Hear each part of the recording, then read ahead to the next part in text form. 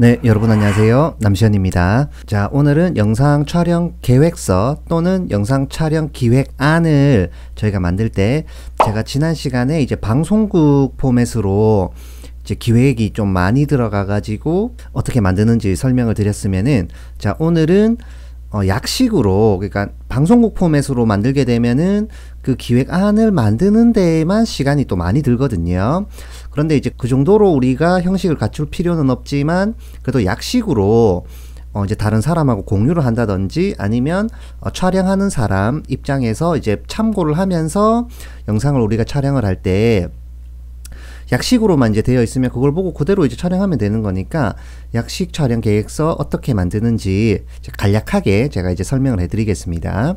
자, 일단 양식 자체는 그냥 뭐 글만 쭉쭉 있는 이런 이제 스타일이고요. 요걸 이제 만들어 가지고 뭐 폰에 넣어 가지고 폰 보면서 뭐 촬영을 하거나 아니면 요걸 이제 출력해서 종이로 들고 다니면서 이제 보면서 이제 촬영을 진행을 하시면 되는 거예요. 지금 보여드리는 이 촬영 계획서는 이제 홍보 영상용이긴 합니다만은 여러분들께서 만약에 뭐 유튜브 뭐 브이로그를 내가 하는 사람이다.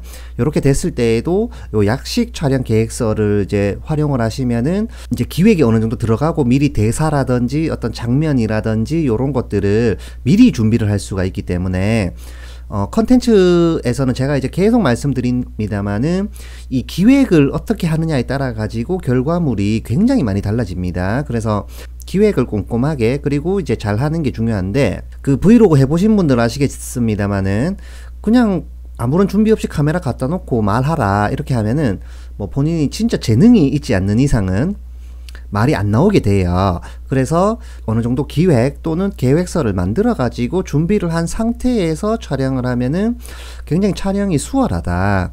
그리고 실제로 많은 분들이 이 기획안 또는 뭐 계획서 또는 뭐 메모라고 뭐 사람마다 다 부르긴 합니다만은 그런 것도 준비해서 촬영을 합니다. 그냥 촬영하는 사람 많지 않아요. 자, 제일 먼저 요거 홍보 영상 같은 경우에는 촬영 정보가 있어야 돼요. 그래서 언제 촬영을 하고, 어디에서 촬영하고, 누가 촬영하고, 그리고 이제 영상 안에 나오는 사람들이 누가 있는지 전반적인 정보들을 이제 넣어줍니다. 그리고 저 같은 경우에는 이제 야외에서 촬영하는 경우가 많기 때문에 날씨에 따라 가지고 어떻게 할 건지에 대한 이제 플랜 B라든지 이런 것들이 나와주면 더 좋아요.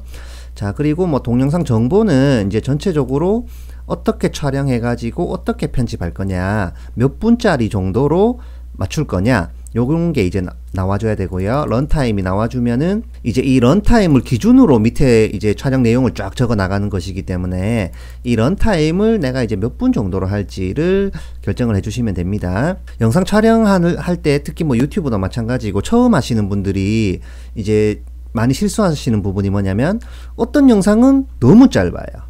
그 여행 영상, 뭐 브이로그 영상이라고 했을 때 어떤 영상은 뭐 1분짜리밖에 안 됩니다. 영상 소스가 없다. 그리고 어떤 영상은 또 너무 길어 버려 가지고 또 지루하게 나오는 경우가 있습니다. 그거는 왜 그러냐면 처음에 이 런타임을 정해놓지 않고 촬영을 했기 때문에 그 소위 말해서 계획 없이 촬영했기 때문에 그런 것이거든요. 그래서 요 약식 촬영 계획서는 간단하게 하는 거기 때문에 뭐 30분, 뭐 1시간 정도면은 뭐 충분히 준비를 할 수가 있습니다. 그래서 요거 준비해가지고 촬영하는 게 좋습니다. 그리고 요거 톤앤 매너는 그냥 제가 임의로 넣어 놓은 겁니다. 그래서 어떤 스타일로 할 거냐. 뭐 예능 스타일로 만들 수도 있고요, 우리가. 아니면은 영화처럼 만들 수도 있고, 뭐 지금 보여드리는 양식은 이제 농촌에 대한 스타일이니까 뭐 농촌스러운 느낌을 강조하는 어떤 전체적인 분위기를 잡는다. 뭐 요런 스타일로 간단하게 넣어주면은 이제 요거를 이제 다른 사람하고 공유할 때도 어떤 이미지를 전달하는 데도 좋고 또는 내가 볼 때에도 아 예능 스타일 말고 영화처럼 찍으려면은 요렇게 해야겠다.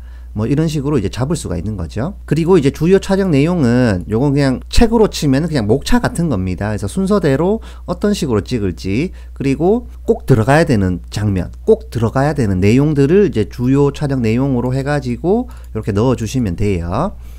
자, 그 다음에는 이제 오프닝이 이렇게 나오죠. 오프닝이 나오고, 만약에 자막이 필요하면 내가 이런 자막을 넣겠다. 또는 브이로그나 여행 영상일 때, 어, 대사가 있어야 되면은 그 대사를 이렇게 대본처럼 만들어 줍니다. 이게 있는 것하고 없는 것하고는 나중에 촬영해 보시면 아시겠습니다만 이 대본이 준비되어 있는 것하고 이 대본이 없는 것하고는 정말 다릅니다. 실제 촬영을 할 때. 그래서 얘기를 할 때에도 이런 식으로 대본을 잘 짜줘야 나중에 촬영이 끝난 다음에 아, 뭐 어떤 것을 깜빡하고 못 찍었다 해가지고 또 촬영하고 또 재촬영하고 이런 일을 많이 방지를 할 수가 있는 것이거든요. 그래서 요렇게 이제 잡아주고 뭐 어떤 식으로 뭐 촬영하면서 뭐 요렇게 하겠다 해주고 또 장소를 바꿔가지고 장소별로 어디에서는 어떻게 찍고 여기에서는 어떻게 찍고 뭐 요런 식으로 이제 보여주는 거죠. 자 그리고 이제 요 영상 같은 경우에는 여기 보시는 것처럼 박스에 상품 담는 장면을 내가 찍겠다. 이렇게 이제 해놨잖아요. 그러면은 실제로 촬영을 할 때 박스에 상품 담는 장면을 이제 촬영을 여러 개를 해가지고 이제 준비만 해주면 되는 거예요. 나중에 편집할 때는 요걸 이제 쫙 보면서 요렇게 읽어가면서 이제 편집을 해주면 되는 거니까 이 기획에 어울리는 장면을 촬영을 해주면 됩니다. 그래서 요렇게 촬영을 해주시면 돼요 know what you've been through. I guess you're back.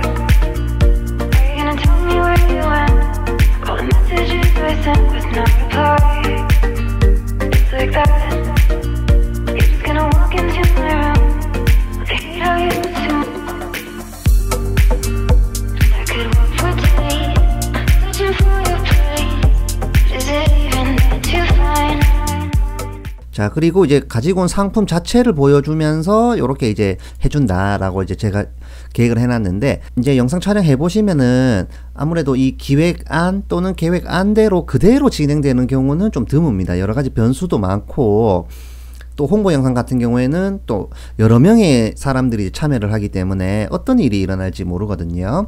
그래서 가능하면 계획은 구체적으로 적어주되 여기에 너무 얽매이지 말고 소위 말해서 유도리 있게 해가지고 촬영을 해주시는 게 좋습니다. 그래서 요렇게 이제 해가지고 뭐 요렇게 이제 한다. 요렇게 이제 적어주시면 되고요. 그 다음에 뭐 이제 꼭 필요한 장면들 요렇게 요렇게 해가지고 넣어주고 만약에 대사가 필요하면 요런 식으로 대사를 넣어줍니다. 대사를 이 대사를 미리 준비하시는 게 좋아요. 그리고 이제 한번 이렇게 글로 쓴 대사는 나중에 말할 때도 편하고 자연스럽게 나오는 그 경향이 있기 때문에 음, 미리 미리 이렇게 대본을 간략하게 만들어 두시면 되고 처음에 이제 이렇게 대본을 쓰다 보면 좀 잘 안 써집니다만 이 계획안을 많이 만드시다 보면은 요게 이제 자연스럽게 좀 써지는 게 있습니다. 그래서 조금 이제 훈련이 돼야 된다. 이렇게 보시면 되고요. 그리고 뭐 어쩌고 저쩌고 한 다음에 쫙 나간 다음에 그 다음에 이제 다 끝나면 클로징 해가지고 요렇게 해서 마무리해서 영상 끝낸다. 그리고 뭐 자막은 뭐 어떤 게 들어간다. 만약에 여기에서 이제 편집까지 내가 고려를 한다라고 하면은 여기에 뭐 편집이 어떻게 하겠다 어떤 효과가 뭐 들어가겠다 화면 전환 효과는 어떻게 하겠다 이렇게 이제 넣어주시면 되겠고요. 그리고 만약에 내가 이 기획안을 어떤 다른 사람하고 좀 공유를 하려고 하는데 이 기획안을 받아보는 사람이 이 영상이나 이런 거에 대해서 아직 음, 뭐랄까요? 전문가가 아니고 잘 모르는 경우가 있을 수가 있잖아요. 그럴 경우에는 이 글로만 좀 이해, 이해시키기가 어려울 수가 있습니다. 그럴 때에는 어떤 샘플 영상을 스크린샷으로 이렇게 사진으로 이렇게 넣어주면은 이미지로 그 받아보시는 분들이 이해하기가 훨씬 쉽고 그 받아보시는 분들이 이해하기가 쉬워가지고 이해도가 높으면 높을수록 이 영상 촬영했을 때 참여했을 때 공유된 어떤 정보들이 많기 때문에 훨씬 더 촬영이 스무스하고 편해지는 게 있습니다. 뭐 이런 식으로 간단 간단하게 그냥 어디에서 A라는 장소에서 어떻게 뭐 옷을 입고 어떤 장면을 하면서 대사는 어떤 거 하겠다. 또 다음으로 넘어가 가지고 어디에서 뭐 어떻게 해 가지고 뭐 앉아서 찍는다 또는 뭐 서서 찍는다. 이런 식으로 적어 주고 쫙 뭐 마찬가지로 계속 계속 이렇게 끝까지 나가는 거예요. 요렇게 해 가지고 만들어 주면은 촬영 끝내고 그리고 이제 편집할 때에도 이제 요걸 기준으로 쫙 보면서 요렇게 편집해 주시면은 되는 겁니다. 이 약식 촬영 계획서 같은 경우에는 형식 자체는 그냥 글의 어떤 반복밖에 없거든요. 그래서 뭐 형식 자체가 뭐 표가 중요하거나 뭐 테이블이 중요한 것은 아니고 안에 내용이 얼마나 알차냐 그리고 음, 혹시라도 빠진 부분이 없는가 요런 것들 를 이제 검토를 하면서 간단하게 만들어주고 요거를 이제 뭐 폰에 PDF로 넣거나 뭐 사진을 찍으셔도 괜찮고요. 아니면 종이로 출력을 해가지고 들고 다니면서 이제 촬영을 하시는 게 우리가 영상을 잘 만드는데 훨씬 큰 도움이 된다고 제가 이제 말씀을 드리겠습니다. 자 오늘 영상은 여기까지입니다. 영상이 도움이 되셨다면 좋아요 구독하기 한 번씩 눌러주시고요. 저는 또 다음 영상으로 찾아뵙겠습니다. 감사합니다.